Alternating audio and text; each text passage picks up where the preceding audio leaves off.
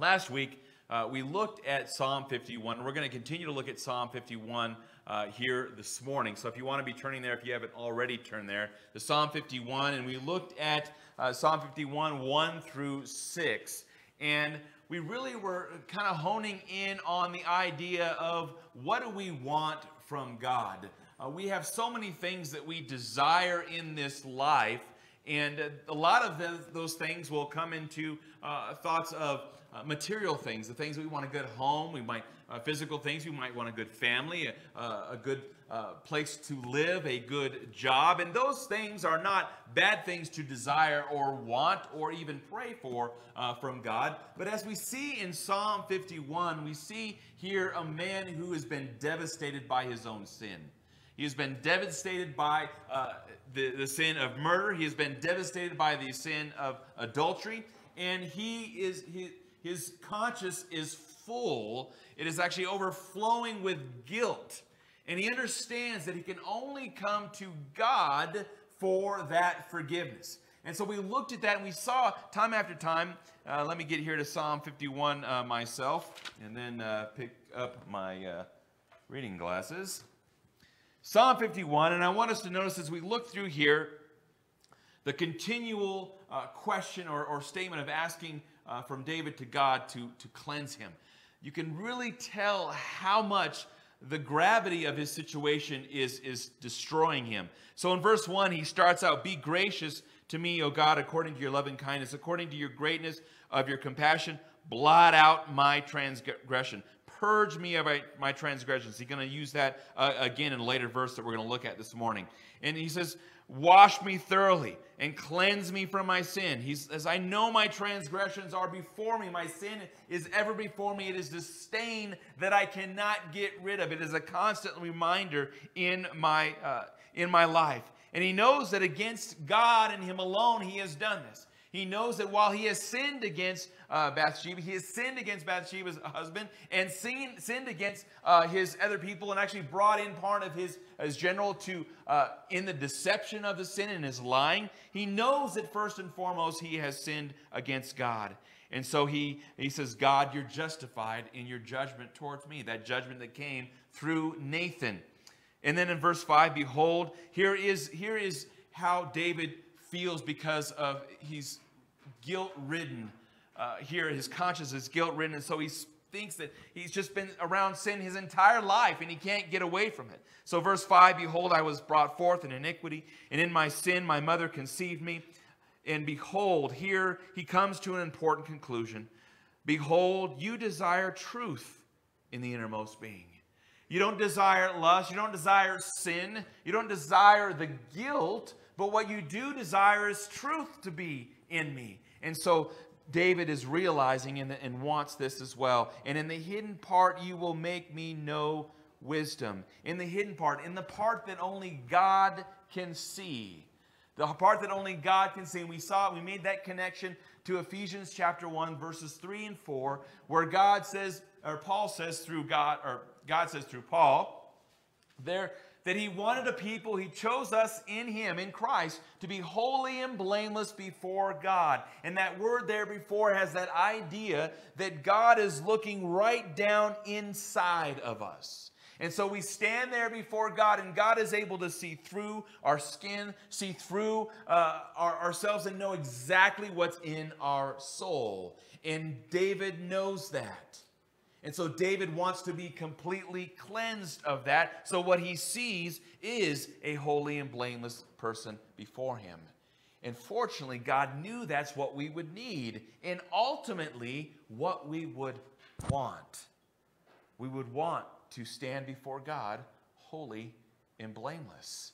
And this is what David wants. So we're going to pick up here in verse 7 this continual idea. Again, David has been devastated by his sin. He has been devastated. And I think that too much in this world today, we are not devastated by our sins. We're not devastated. We don't understand the gravity of our sins. And oftentimes we just justify what we do. We justify what we do rather than accepting it and being accountable for our sins. We just justify our actions in hopes that we can kind of get around it. And this is what the world is doing today. And we're living in the world in this in our culture today that is justifying sin. And actually what they're doing is saying it's not sin anymore. It's my opinion. If my opinion is mine, then it's right to me. And they're completely changing what God has called that which is sinful. And so we are being brought into this idea. We're being affected by this, brethren, to where we don't understand the gravity and the devastation of sin in our lives. And so we need to be reminded here of what David is going through. And that is something that we should be, in a similar vein, going through ourselves, understanding the devastation of sin. So he says, Purify me with hyssop. And so now we have this idea, this scene of a priest that is going to come and cleanse, uh, cleanse uh, someone who has been, uh, in one case, uh, they used, would use uh, hyssop for leprosy. And the priest would come and he'd apply with the hyssop. The hyssop was a herb that also did have medicinal uh, elements to it as well and they would apply that water or the blood upon the person, the leprosy, and try to cleanse them and to clean them. And they would have to go and be outside of the camp for a while until their leprosy was cleansed. They'd come back in, and then they would have that blood or that water applied to them to show that they were officially cleansed and able to come back into uh, the camp or into uh, the temple at that time. And so David is asking and telling God, I need you to be my priest. I need you to cleanse me. I need you to purify me. And interesting about this word purify is that it has within it the Hebrew root word for sin. And so we could actually say, David is saying, desinitize me. Completely rid me of sin. I don't want any stain at all. You know, we are, uh, have had a hard time finding Clorox bleach wipes right? You know, in this time, they've been completely wiped out, no pun intended, uh, and we cannot find them anywhere. And it says at the bottom, it says at the bottom of those Clorox bleach wipes, right? Able to get rid of, how, how what's the percentage? 99? Not yet. Everybody knows it, right? Because that, that 0.1%, you know, man, if, if someone gets some virus, some disease, they're, they're covered there. But it gets 99.9%. Well, David is saying, I want you to completely desanitize me from my sin. I don't want any stain. I don't want any blemish. I don't want anything left over, God. Please purify me completely from the sin that's in my life. Notice how David is going on and on and on. You know, and some people today might look at this and go, gosh, David, you, you know, can you get over it? You know, David, you're going on. You know, wash me, cleanse me. Uh, you know, I, am my transgression sins ever before me. Uh, purify me, wash me. Again, we see this idea in, in, in, the next in this part of seven. Wash me, make me heart, make my heart to uh, hear joy and gladness. But David, we're reminded, is a man after God's own heart. And so it is something that we want to be like. We want it. Now, we need to also understand that, that David doesn't want to stay here in this guilt, right? He doesn't want to wallow in this. He wants rid of it. He wants rid of it. Okay, so then he says, you know, wash me and I shall be whiter in snow. And an interesting thing about this, uh, this word snow uh, is there is this small little um, possibility, the definition you see in the definition of the snow that has the idea of shining. You know, and, and we are blessed to be able to live in an area uh, that has snow. Uh, now, you know, some of you are like, no, keep the snow up in the mountains. I want the green down here so I can golf.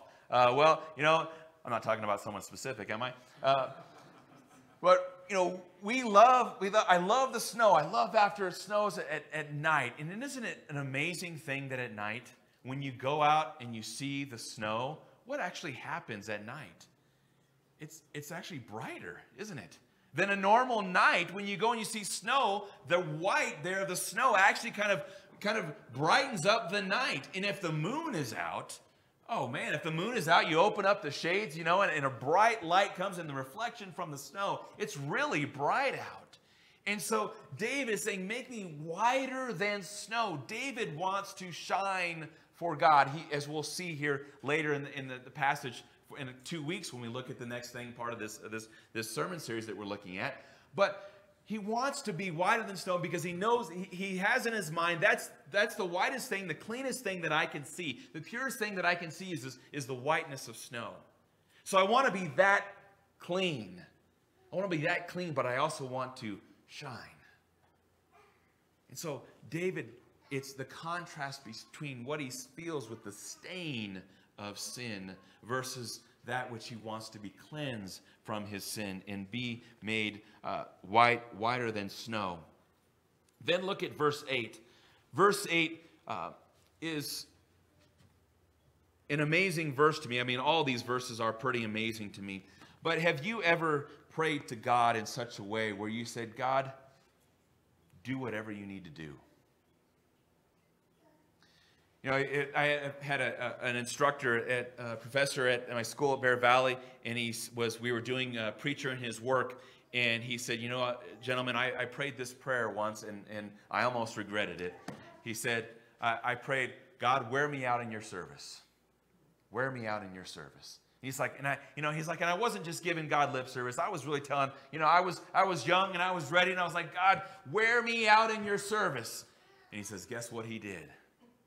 That year, he wore me out in his service to the point where I almost quit. When David says here, make me to hear joy and gladness, he's saying, when he says make me, he is telling God, do whatever you need to do so that I can hear joy and gladness again. And that joy and gladness is coming from the forgiveness of my sins. That's going to be the result of that. But he's saying, God, I want you to do whatever it takes. I'm prepared. And I don't know that sometimes that we're prepared to make those kind of statements and prayers. God, do whatever need. Well, do whatever you need so that I can know and be in your good grace again. Because we might be afraid of what we might need to lose. David knows that there's nothing more important than his relationship to God. That it may cause him to lose something, but he's telling, he's telling God, do whatever it takes. We need to be prepared to make those same, same, same statements and prayers to God ourselves, understanding that it may help us in our relationship with God. And so ultimately, we see here, uh, here in this next verse, let the bones which you have broken rejoice. David is so overwhelmed by the guilt of his sin. His sin is permeating his life that this is really talking about just the totality of what his sin is doing to him. It is in his inner body, it is breaking his body down. His bones are being broken. I had a, a friend of mine in elementary school that uh, we he, uh, we came out of our house, or I came out of my house and looked down the street. We heard the sirens, we heard fire trucks, we heard police cars, ambulance, you know, and we walk out our door as all kids do. You know, you want to see where they're going and what's going on. And, and down in the corner there, there, the street wrapped around, and that was there by my school, and there was a huge truck, diesel trailer truck that was down there, along with all of the ambulance and the, and the police and the, the firefighters that were all there, and we were wondering what was going on. And my mom and dad wouldn't let me ride my bike down there to find out. Uh, but what we ended up finding out the very next day was one of my friends was hit by a truck while he was on his bike. He had fractured, several fractured ribs. He had a fractured pelvic bone. He had a fractured femur. Uh, femur. He had a fractured uh, humerus in his arm here. Uh, and when I saw him next, he was in a wheelchair in a full body cast with one leg sticking out, this head to toe. I, I don't even remember how many bones that he had fractured, but he lived. And David is, ex- eh, eh, he was in inexplicable, inexplicable eh, pain, my friend Raymond was. David, David is, is so hurt by his own sin, by his admission that it's hurting to his core like his bones are broken. Anybody have ever had a broken bone? It hurts. I've had a fractured rib and I've had a, a, broken foot. I can't imagine Raymond and all those uh, the bones that he's fractured. But David, again, trying to explain and emphasize how he is feeling. He's saying, My bones have been broken. My bones. Eh, please let the bones which you have broken rejoice. Hide your face from my sins and blot out my uh, iniquities. Earlier, if you go and you read in Psalm 11, verse 7, da- written by David, David knows that only the upright, only the righteous are able to be seen by God, to be in his presence. It's just like we see in Ephesians chapter 1, 3 through 4. He was going to have a people holy and blameless before him. David knows that only righteous people are going to be heard by God, that only a righteous person can stand before God. And so he also knows that the sins in which he has committed could also separate him from God. He understands that that's what sins do, and you can see that in the other Psalms that he's written. And so he's saying, Hide your face, don't look upon me, but cleanse me of my iniquities so that you can. So that you can. You know, one of the most difficult things for us to do when we've committed some sin or done something wrong is look into the eyes of the person that we've offended. Isn't that hard? You know, you, it's why, you know, when you, you call your kids in, you know, when they've, they've messed up, you know, and they know it, what do they usually come in? They come in looking down. Why is that? They don't want to see your eyes, your disappointed eyes. They don't want to see, yeah, the reality of their situation. Well, David is saying, don't, don't look, don't look upon me.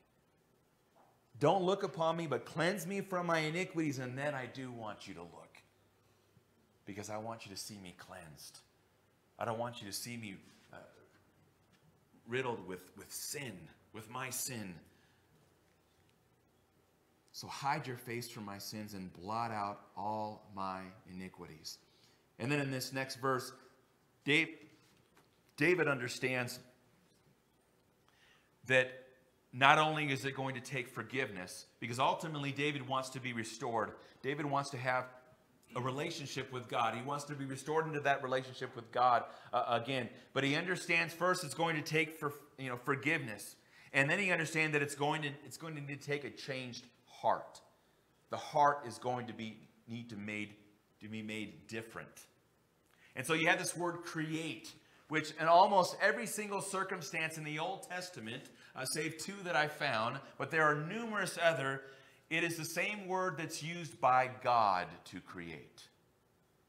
It's in the beginning, God created.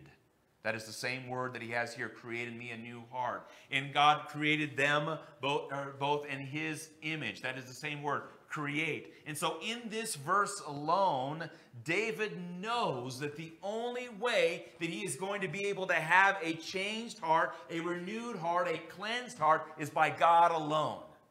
He cannot do it himself. And so he's telling God himself, God, I need you to give me a new heart. A heart that's filled with your truth, with righteousness, not with sin, not with lust, but with the truth, with your righteousness, with your forgiveness. Create in me a new heart. And then what he says here in the next verse is also uh, kind of parallel to what he says a little bit later in verse 12. But he says, and renew a steadfast spirit within me. You know, sometimes what can happen with sin is sin can be so devastating that while we know that we are in our sin and we need that forgiveness, sometimes it is difficult for us to move on from it.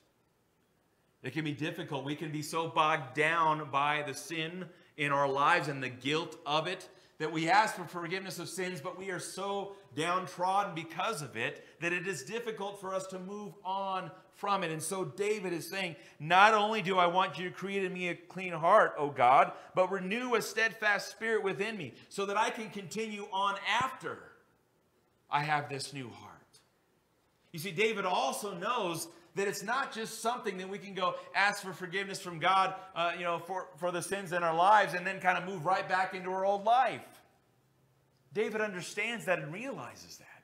That not only, he's not only God, do I want you to make me righteous, but then I want to continue to be righteous. That is the practical side of our righteousness, is God makes us righteous through the blood uh, of his son, but then he wants us to practice righteousness and practice doing the right thing. And so David realizes that. But he also knows that he's going, he may be discouraged along the way. It's just like the, the passage that was read by Mike in Romans chapter 7. You know, Paul is obviously discouraged by his sin. The very thing that I know that I need to do, I don't do it. And the very thing that I'm not supposed to do, that's what I do. And he goes back and forth and back and forth and back and forth until finally he goes, But thanks be to God for Jesus Christ. And so that's what David realizes here that, that God, I want you to give me a new heart. I want you to forgive me. I want you to give me this new heart, but then help me to stay on track. Help me to stay on track. And isn't that a prayer that we need? Stay focused. Keep going. David understands this. And then here is the gravity of, of what sin can do. And, and David realizes it here in verse 11. He says, Do not cast me away from your presence. And do not take your Holy Spirit from me. David knows that the sins in his life can take him and separate him from God. He knows that he is right there at this possibility. He says, Don't take your Holy Spirit from me, which, which, which represented uh, God's presence. God's presence. You know, when we look back and you look back at 1 Samuel, 1 Samuel chapter 16, what happens there is David receives the presence of the Holy Spirit, right? He is anointed with the Holy Spirit. But what does David also witness that I think, this is just my opinion, because we, we can't see it exactly in there. But I wonder if David, when he says, Don't take your Holy Spirit from me, if he has something in his past in mind. Do you remember what happened there in 1 Samuel 16? After David received the Holy Spirit of God, who loses the Holy Spirit of God? Saul. Saul. The Holy Spirit of God is taken from Saul. And it's replaced with an evil spirit. And then David witnesses the deterioration of Saul. Saul, the great king of Israel. But he loses the presence of God. And he slowly, some we claim, and I think so too, he goes mad. He becomes crazy.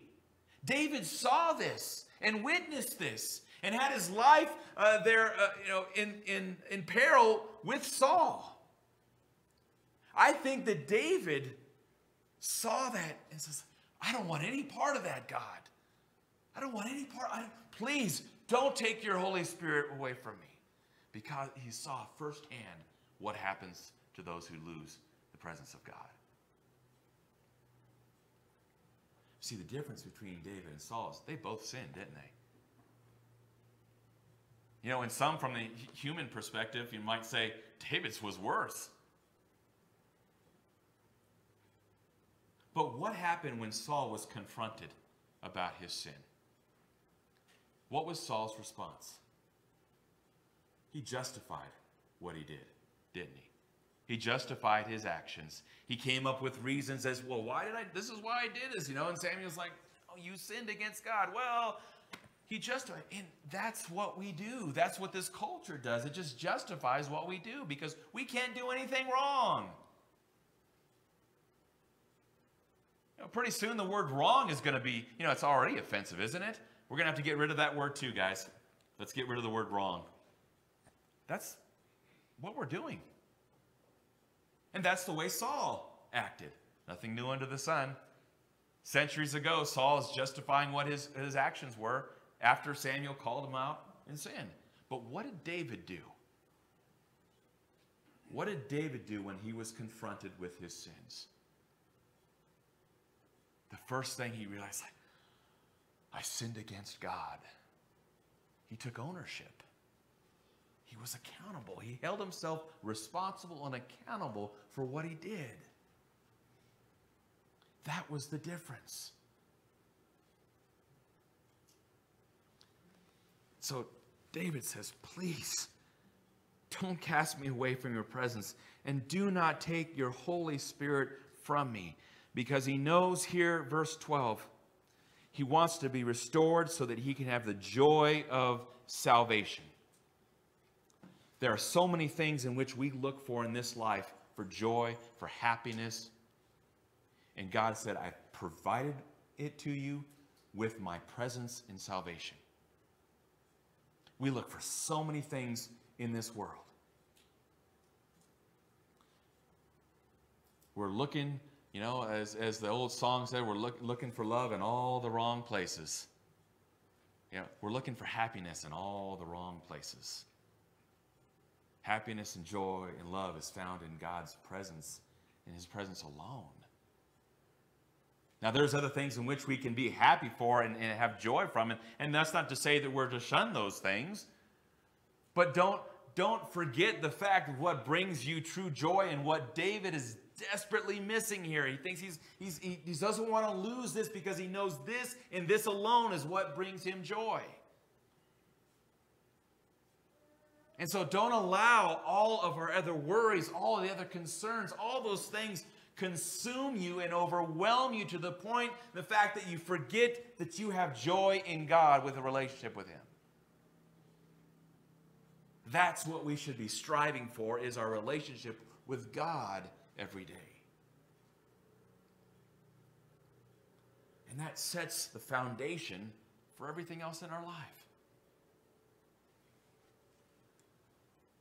So he says, Restore me the joy of your salvation. Again, we see the same idea here uh, in this verse that we saw in verse 10 and sustain me with a willing spirit, one that will endure to do righteous things. Sustain me, God. So when I get up tomorrow and I'm facing difficulties again and I'm facing temptation again, God, sustain me. Sustain me to continue to do the right thing because I know ultimately, God, I do not want to lose my relationship with you. That's what I want. And God knows that's what we need. So we need to ask, just as we did last week, we need to ask our, ourselves again this question is, what do we want from God? That he hasn't already provided the very thing that we need. He's provided this. And so you turn with me to Ephesians. Turn with me to Ephesians chapter to chapter 1 and we'll begin our lesson here. That was the introduction. Um, Ephesians 1. And again, I, I, I want to look at this verse again, verse chapter 3 and, and 4, and we'll get down to where I want to uh, get to our verse here. But we looked at Ephesians chapter 1 um, last week, verse 3 Blessed be the God and Father of our Lord Jesus Christ, who has blessed us with every spiritual blessing in the heavenly places in Christ. There is not one thing that God has left out that he hasn't covered in what we need. And so we should look at these things and go, these are the things that I want just as he chose us in him before the foundation of the world, that we would be holy and blameless before him. In love, he predestined us to adoption as sons through Jesus Christ to himself, according to the kind intention of his will, to the praise of the glory of his grace, which he freely bestowed on us in the beloved. What is the first thing that David appeals to in Psalm 51? God's grace. God's grace. God, David knew that the only way that I'm going to receive this forgiveness is because of God's grace, that which I do not deserve. God's grace, according to his loving kindness, David says. So, when did God know that we would need all these spiritual blessings? When did God know that we would need his grace? before he created this world. He knew that we would need these things. And then ultimately, when we understand our relationship with God as David does, ultimately it's the things that we want from him. that we desire from him. And so that he goes on here in verse 7, he says, In him we have redemption through his blood and for the forgiveness of our trespasses according again to the riches of his grace. David wants to be redeemed. He wants to be restored. He understands first that he must appeal to God's grace and his loving kindness. And then only next that is uh, whether or not he receives that forgiveness of sins. He knows that he needs to be forgiven of his sins first before he is able to be restored and have a relationship with God again.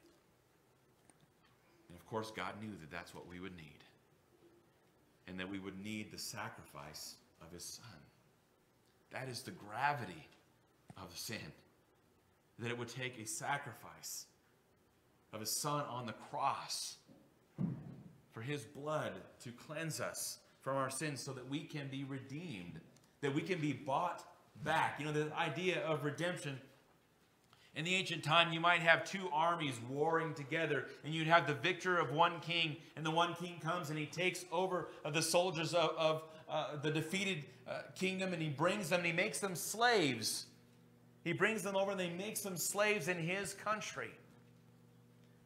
So the other king would come over, say, Can I buy back my men? He would purchase them out of that slavery, redeem them, and bring them back. We become slaves to sin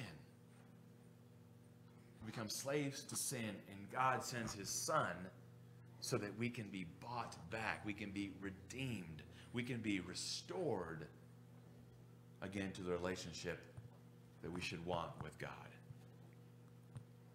We need to be careful in the culture that we are living in, in this slippery slope that seems to be picking up speed, going away and further uh, and faster away from God's uh, word in our lifetime more than ever before in our lifetime.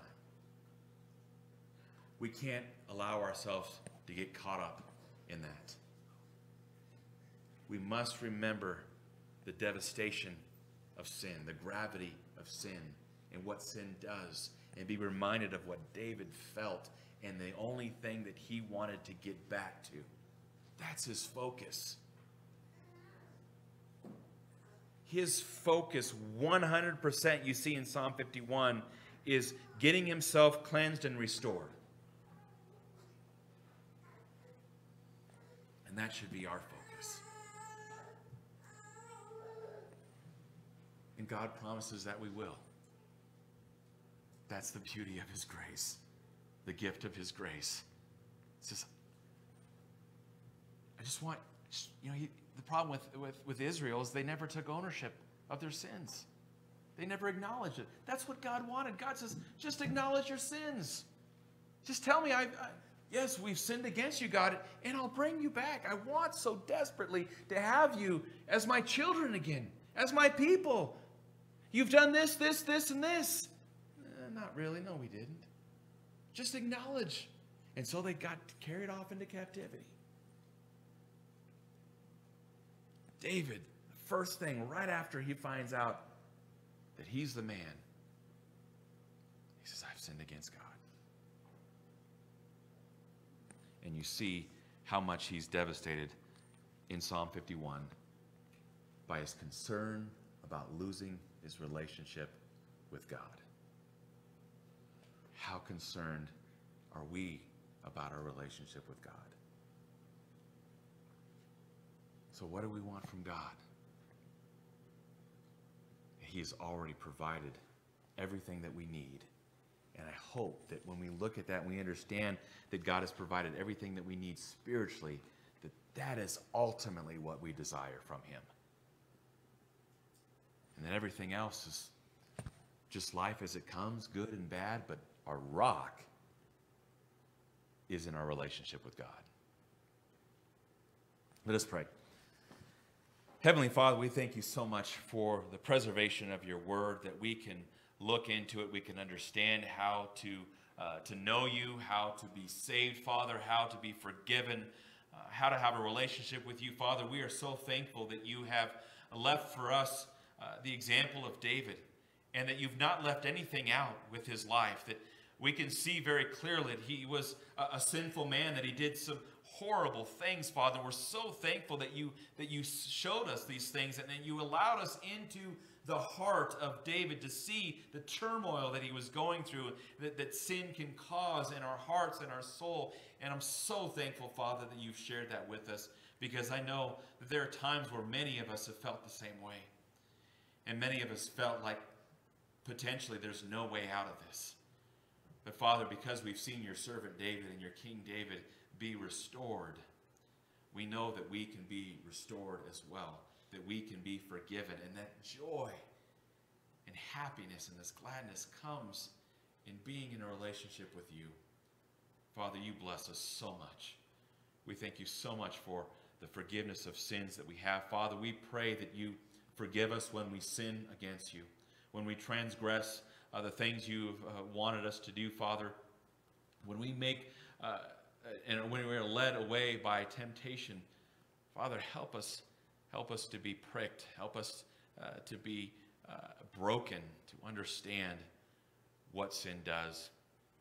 And, and Father, help us to, to always desire uh, to come back to you and to ask for that forgiveness that you so freely want to give to us, Father, so that we can continually remain uh, with you, Father, that that sacrifice of your Son continually cleanses us uh, from uh, our sins, Father, and uh, it just makes us understand also how great a sacrifice uh, Jesus is. Thank you so much for all that you do for us, and it's in Christ's name we pray. Amen. If you are here this morning and, and you're struggling with sin and you want need and need to be restored and you want to ask God for forgiveness of sins, you can do that on your own in your own prayer, but maybe you'd like help. Maybe you would like strength and encouragement from your brothers and sisters in Christ. That's part of the reason why we're here at the church, to bear one another up, to bear one another's burdens, to help each other, to admonish one another, to love one another. That's part of the work of the church. And I think sometimes that we forget that in these times. We just we we hold everything in just as David was doing. David was holding these things in, and his heart was being hardened by it through this time. And that's what sin does to us. So if you're struggling with sin this morning, don't leave here before you ask for some prayers or pray here this morning. Let us stand and sing. Come we that love.